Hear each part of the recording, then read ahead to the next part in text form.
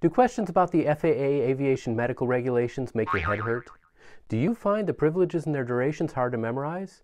14 CFR 61.23 contains a lot of complex information and it can be difficult to understand. Let's simplify the critical pieces and make it easier to remember. 14 CFR 61.23 starts by describing the operations that require medical certificate and which certificate is required to exercise which set of privileges.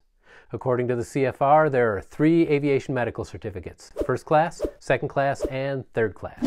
First class medical privileges are required in order to participate in three types of operations. First, when performing the duties of PIC as an airline transport pilot. Second, when performing the duties of second in command of an aircraft operated in Part 121 operations, when three or more pilots are required. And finally, when you are acting as a required pilot crew member in Part 121 operations when you're 60 years of age or older. If you aren't going to be performing any of these duties, then you do not need a first class medical. Second class medical privileges are required for two types of operations. The first is if you're going to be performing second in command duties in 121 operations other than those listed as part of the first class medical. The second is when you're exercising the privileges of a commercial pilot in anything other than a balloon or a glider. Again, if you aren't going to be performing any of these operations, then you don't need a second class medical. The third class medical is required for any other activities except for when operating under basic med or exercising the privileges of a sport pilot. We'll cover basic med and sport pilot certification in another video. So, considering what we've just covered and assuming that you're not participating in basic med, what is the level of medical certificate you'll need to take a practical test for private pilot, commercial pilot, or airline transport pilot? Well, we'll answer that in a bit, but first, let's review the part of 61.23 that messes people up durations. When defining durations, the FAA often uses something called calendar months.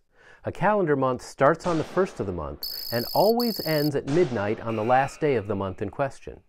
For example, if a duration expires at the end of 12 calendar months and it started on January 12th, the expiration would be January 31st of the following year. Does that make sense? So how long are medical certificates valid? In general, there are two major durations. If you received your medical certificate while under 40 years of age, your medical is valid for 60 calendar months. However, if you are 40 years of age or older when you received your certificate, it's only valid for 24 calendar months. Unfortunately, that, that doesn't mean that you can exercise all of the privileges for the entire duration of your medical certificate. In each of these cases, the privileges you can exercise depend on the level of medical certificate you start with and when those privileges expire. In all cases, when one level of privileges expire, the medical will drop to the next unexpired set of privileges. This is where things get complicated, so let's look at them graphically. If you are under 40 years of age, the durations look like this. First class privileges expire 12 calendar months from the date of your examination. Second class privileges also expire 12 calendar months from the examination date. However, third class privileges don't expire for 60 calendar months after your examination. Using this chart, you can see that if you received a first class medical on January 3rd of 2020, your first class privileges would expire on January 31st of 2021. At this point, the privileges would drop to the next unexpired privilege level. Since second class also expires in 12 months, the next unexpired privileges would be third class, and you would be able to exercise those privileges until the end of 60 calendar months. Now, let's look at what happens for those of us 40 years of age and older. In this case, first class privileges only last for six calendar months. Second class privileges still last for 12 months, and third class privileges last for a total of 24 calendar months. Again, looking at the chart, if you're 40 or over and received a first class medical on January 3rd of 2020, you could exercise first class privileges until July 31st of 2020. Then the privileges would drop to second class until 12 calendar months from the date of your examination, in this case, January 31st of 2021. After that, privileges would drop to third class until 24 calendar months from your examination or January 31st of 2022. Does that make sense?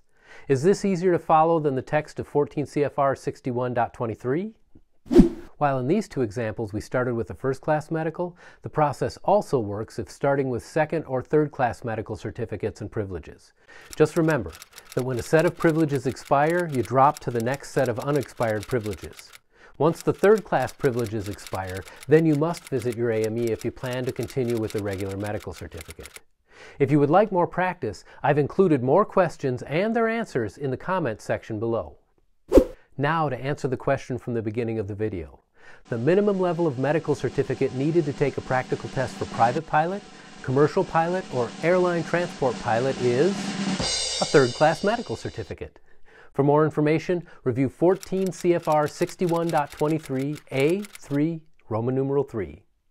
If you like this video and would like to help me make more like it, please consider a donation through Buy Me a Coffee. The link is in the description below, and any support is greatly appreciated. Also, please comment, hit the thumbs up, and consider subscribing. And lastly, if you're looking for more flight training information, I'd recommend watching this video next. As always, thank you for watching, fly safely, and I will see you next time.